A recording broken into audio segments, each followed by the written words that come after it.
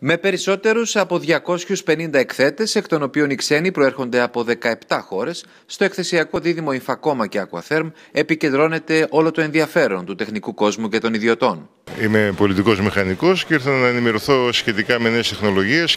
Ε, είμαι ιδιώτης και επειδή ασχολούμαι μερικές φορές να κάνουμε κάποιες κατασκευές ή κάτι άλλο, με ενδιαφέρει να δω πώς εξελίσσονται τα πράγματα. Το Σάββατο συνεχίστηκε το Πράσινο Συνέδριο, στο οποίο οι ειδικοί παρουσίασαν εφαρμογές κατασκευών φιλικές προς το περιβάλλον, με γνώμονα τη βιωσιμότητα, τις εναλλακτικές πηγές ενέργειας και γενικότερα τον πράσινο τρόπο ζωής. Έχουμε τη μεταφορά της γνώσης είτε από ακαδημαϊκούς, ε, είτε από στελέχη επιχειρήσεων, είτε από αρχιτεκτονικά γραφεία και πολιτικούς μηχανικούς ή μηχανολόγους μηχανικούς. Το πρώτο ελληνικό προκατασκευασμένο πράσινο σπίτι, οικοδομικά υλικά που συγκροτούν τη θερμότητα, μελέτες για σκίαστρα που εκμεταλλεύονται τον ήλιο, ενεργειακά κουφώματα και ιαλοπίνακες με πρωτοποριακές ιδιότητες, φύτευση ταρατσών. Ήταν κάποια από τα επιτεύγματα που παρουσιάστηκαν στο συνέδριο που προσέλκυσε το ενδιαφέρον του κοινού. Εδώ βλέπουμε ένα χώρο, μια, μια βιομηχανική μονάδα.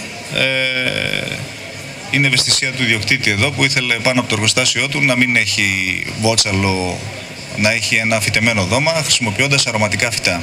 Στην Ινφακόμα βρίσκουν την καλύτερη ευκαιρία τους για να προβάλλουν το δυναμικό τους και θεσμικοί φορείς του τεχνικού κόσμου. Ο Σύνδεσμος Εργοληπτών Ηλεκτρολόγων συμβουλεύει εδώ τους επισκέπτες για την ασφάλεια των ηλεκτρολογικών εγκαταστάσεων. Τα δικά τους περίπτερα έχουν οι συλλογικοί φορείς των υδραυλικών και των τεχνικών μονώσεων.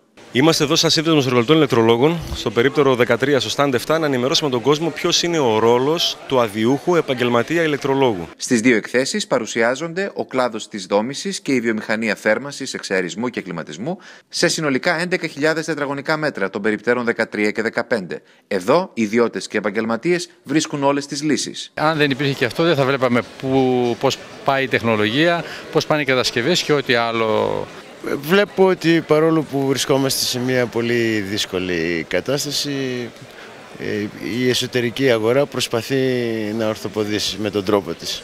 Είναι η έκθεση, η βασική έκθεση, η οποία στολίζει την πόλη μας στη Θεσσαλονίκη και μπορούμε να ενημερωθούμε για, τα, για τις νέες τεχνολογίες μια φορά το χρόνο. Το πάρκινγκ για εκθέτες και επισκέπτες στους χώρους της Διεθνούς Έκθεσης είναι δωρεάν.